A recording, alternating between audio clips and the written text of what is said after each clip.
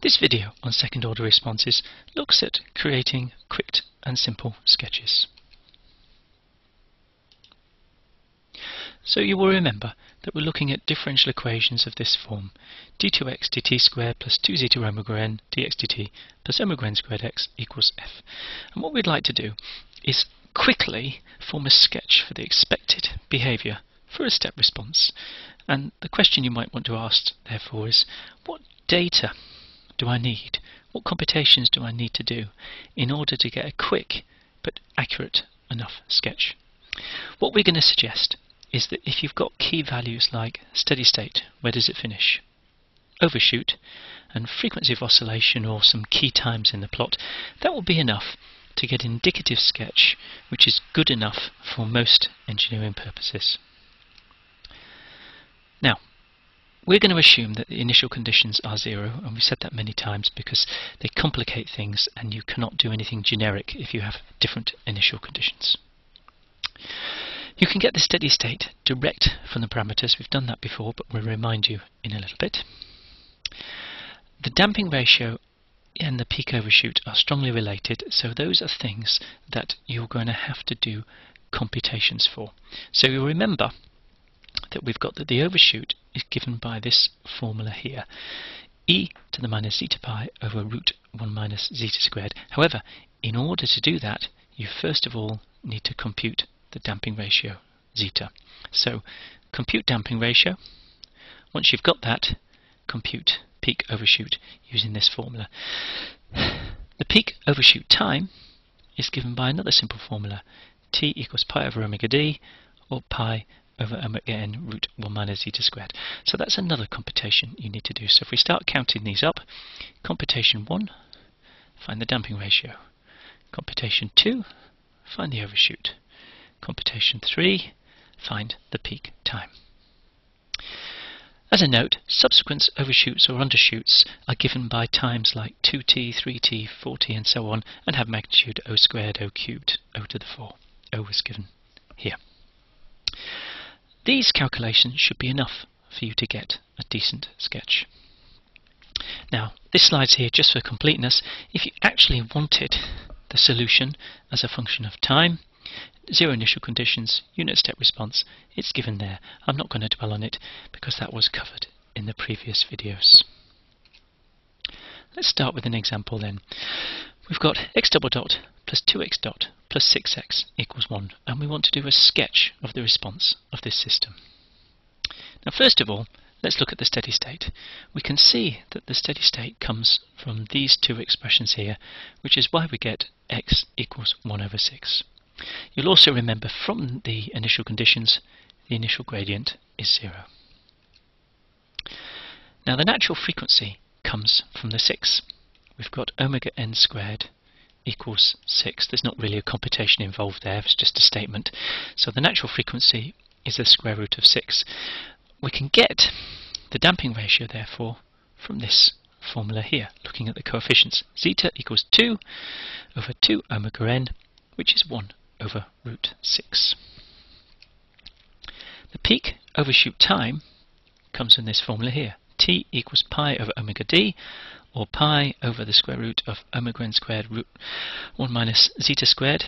If we put in what we already know, omega n squared equals 6, and zeta is 1 over root 6, and we put those formula in there, this is what we get, and it simplifies to pi over root 5, which is approximately 1.4. Next, we need to calculate the first overshoot, which we're using this formula here, and we've already got zeta, you'll see, and we substitute that value of zeta in, and we get e to the minus pi over root 5, or approximately 25%. So let's summarize what we've got so far. The steady state is 0.167. The first peak is at 1.4, and subsequent maximum minima will be at 2.8, 4.2, and so on. The first overshoot is 25%, so the second overshoot is going to be a quarter for quarter, that's um, much smaller. I don't think it should be, uh, sorry, the next overshoot is 0.25 cubed, let's be precise, which is 1.6%, which is very small, and so on. Now, if you're wondering where this 0.042 comes from, basically we've done 0.25 times 0.167 because one that's the uh, steady state. And the initial gradient is zero. If we put all that data together, then we get this sketch. Now if you ignore the line for now, what we've done is we've marked the start point, zero initial conditions. We've marked 1.4 as being the first peak. And we've said at the first peak we had a 25% overshoot, so we've marked that point there. The second peak, or the undershoot, is at roughly 2.8, and that's going to be 0.25 squared off from the steady state, so we've marked that point there.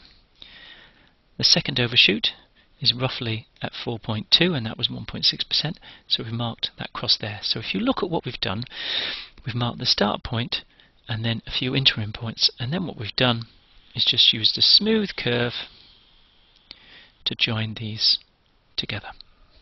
And you'll see I've done that by hand and you'd struggle to get a sketch much different from what I've done by hand once you'd put the circle and the crosses on the plot. Second example then. So sketch the unit response, unit step response for the following system. So I've got x double dot plus 2x dot plus 17x equals 25.5. First of all, let's look at the steady state. So the steady state comes from 17x equals 25.5 or x equals 25.5 over 17 which is 1.5. So there's the steady state. Next Let's look at the damping ratio. Well, zeta is going to be 2 over 2 root 17, which is 1 over root 17 using the parameters in the model and I missed a step there I do apologize we've said that omega n squared equals 17 or omega n equals the square root of 17 so clearly that's a value we've used to calculate the damping ratio. Having got zeta, I can now calculate the overshoot using our standard formula. So if I put in that zeta of 1 over root 17, then what I get is 0.46 or 46%, depending on which way you want to look at it. Next, let's find the peak time. So again, we've given the formula down here. And if we substitute in the numbers to this, you get actually quite a neat answer, which I'll let you look at later, but you get just pi by 4. And the reason for that is omega n squared is 17, whereas zeta squared is 1 over 17, and you put it together, and you find you end up with the square root of 16. So pi by 4, which is approximately 0.78 for the peak time. So now we've got the key data, what you've got to do is put that key data onto a plot. Now we've just done the plot for you here, but what you'll notice, there's the peak time, roughly 0.78. Here's the undershoot time, that will be roughly 2 times 0.78, which is what, roughly 1.55. There's the third peak time, which will be roughly 2.3, and so on. Okay, what about the overshoot size? This was 46%, and therefore this gap in here is going to be 0.46 squared. The steady state, marked here, 1.5. So again, as before, it won't take long to mark across, across, if you want another one, across, and draw a smooth sketch going between those points. Here's some examples for you to try by yourself.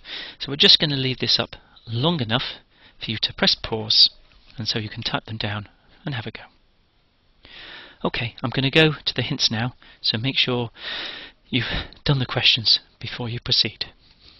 So here's some hints to give you an ideas about the solution. So hints what the natural frequency, what the damping ratio, what the damped natural frequency might be. But I've not computed the overshoot. You'll have to do that yourself. A summary of the key values that we've used, and these are also on the previous video. So we've used the peak overshoot, the decay rate per peak, the peak overshoot time, and the overall solution if you actually need it at some point. So in conclusion, we've shown that you can sketch solutions to underdamped second order ODEs using relatively straightforward computations and therefore fairly quickly. Key observations allow you to compute an indicative sketch quickly. Now, some just some warnings. These observations assume you've got zero initial conditions. So obviously, if you don't have zero initial conditions, you're not going to be able to use the uh, calculations we've used here. However, you are going to have the same indicative key characteristics, which is the ratio of peak to peak and the uh, in terms of times and decay rate.